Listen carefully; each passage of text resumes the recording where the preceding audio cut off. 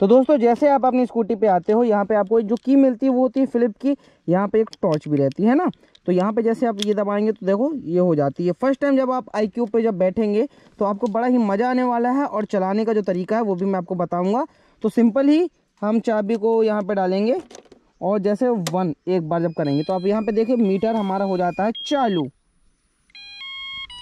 यहाँ पे लिखा क्या जाता है? वेलकम आई क्यूब ठीक और यहाँ जाती है बैटरी का परसेंटेज और किलोमीटर तो एकदम से आपको चालू नहीं करना है।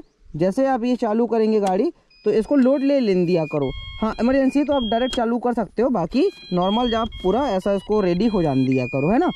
जब फ़र्स्ट टाइम आप आई में बैठेंगे तो आपको कुछ इस प्रकार से मिलेगा। और यहाँ आप देखेंगे कि यहाँ खुद बता रहा है press brake plus mode switch to start riding है ना? ये वाला दबाना है तो हम सेम वैसे ही करते हैं।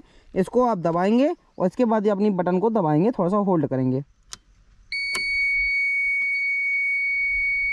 ये। तो यहाँ हो जाता है इसका इकोनॉमी मोड चालू। इसके बाद आप सिंपल ही छोड़ दो सब कुछ। अब ये इसके बाद आप जैसे एक्सीटर लेंगे हल्का सा और ये गाड़ी हमारी चलने लगेगी।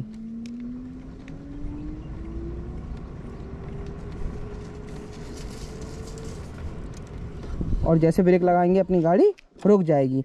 अब चलते चलते आपको थोड़ा सा पावर और चाहिए। तो आपको करना क्या है कि अपनी गाड़ी को फिर से कंटिन्यू चलाना है और इसके बाद अब फिर से अगर मोड दबाएँगे दोस्तों तो देखो यहाँ पे हम फिर से मोड दबाएँगे तो ये यहाँ पे आ गया पावर पावर के बाद हम फिर दबाए तो आ गया इको है ना? इको के बाद हम फिर से दबाएँगे तो ये आ गया पावर और पावर की स्पीड फिर इस तरीके से।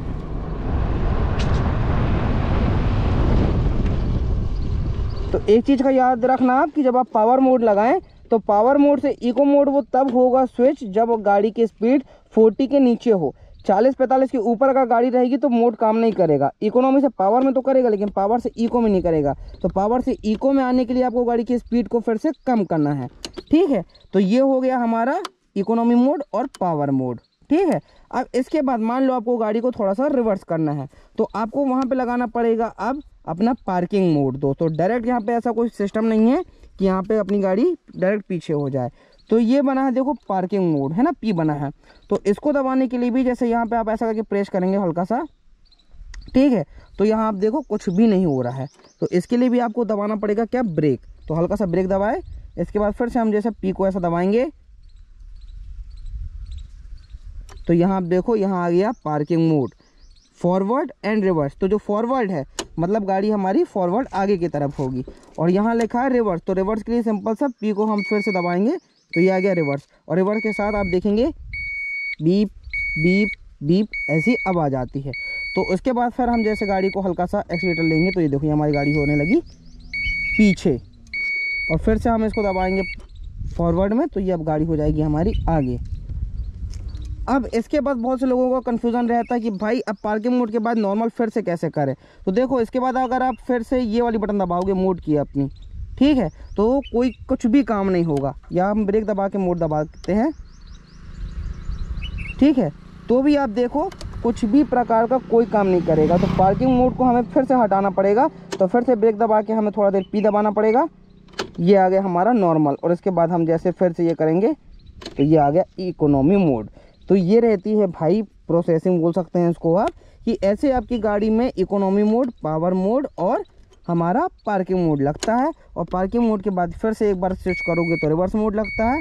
रिवर्स फॉरवर्ड और फिर से ब्रेक दबा के हल्का सा पी दबाएँगे। ये आ गया नॉर्मल और इसके बाद ये लग गया हमारा इकोनॉमी मोड अच्छा एक चीज़ ख्याल रखना, एक चीज़ का और, कि अगर आप एक्सीटर के साथ चालू करते हैं तो यहाँ पे क्लोज टोटल वार्निंग आ जाएगी। अब देखो जैसे ये चालू किया मैंने, गाड़ी अपनी, ठीक है? और मैं अपना एक्सीटर को इतना लेके करूँगा। इतना लेके अगर मैं चालू करूँगा अपनी गाड़ी तो यहाँ आप देखेंगे क्लोज थ्रोटल वार्निंग आ गई। ठीक है? मतलब कि आपका थ्रोटल जो है, वो क्लोज में है। तो ये गलती मत करना, एक्सीटर ले लेके मोड मत दबाना नॉर्मल चालू करना। खास बात दोस्तों, एक चीज़ और याद रखना है कि इस गाड़ी में होता है side stand cut off sensor ठीक है? मतलब कि अगर आप परेशान हो रहे हो कि आपकी गाड़ी क्यों नहीं चल रही, देखो। ये मैंने गाड़ी चालू किया। जैसा कि मैंने बताया कि आपको गाड़ी चालू करना है, ब्रेक दबाना है और ये मोड चालू करना है तो गाड़ी चालू हो जाएगी।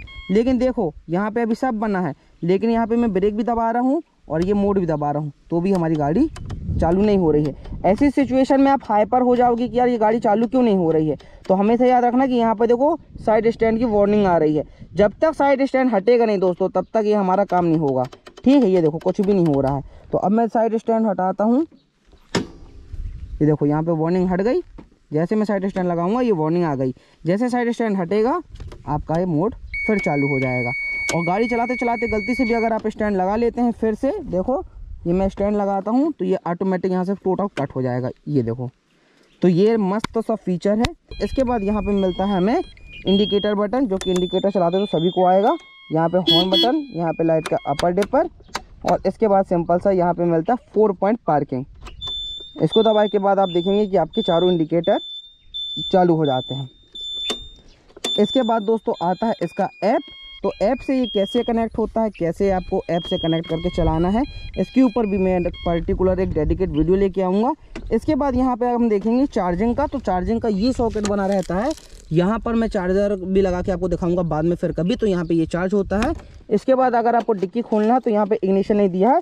सिंपल सा यहाँ पे भाई ये करो। ये करो, ये हमारी खुल गई डिक्की। डिक्की पे आपको यहाँ पर एक यूएसबी चार्जर भी मिल जाता है तो आप अपना मोबाइल को चार्ज कर सकते हैं। इसके बाद डिक्की लगाना कैसे है दोस्तों इसकी?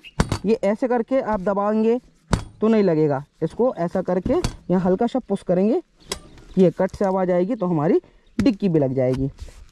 तो सिंपल से इस तरीके से आप चला सकते हैं अपनी टी वी को। अच्छा इसके बाद एक ब्रेकिंग के टाइम आप ये चीज़ ध्यान रखना कि जब आप गाड़ी चलाएँ और एक्सीटर लिए लिए ब्रेक मत दबाए करो। मतलब कहने का मतलब मेरा ये है कि जैसे हमारी ये गाड़ी चल रही है, ठीक है, देखो, दस की स्पीड में चल रही है एक्सीटर हमारा लिए हैं, इसको लिए लिए आप ब्रेक मत दबाना।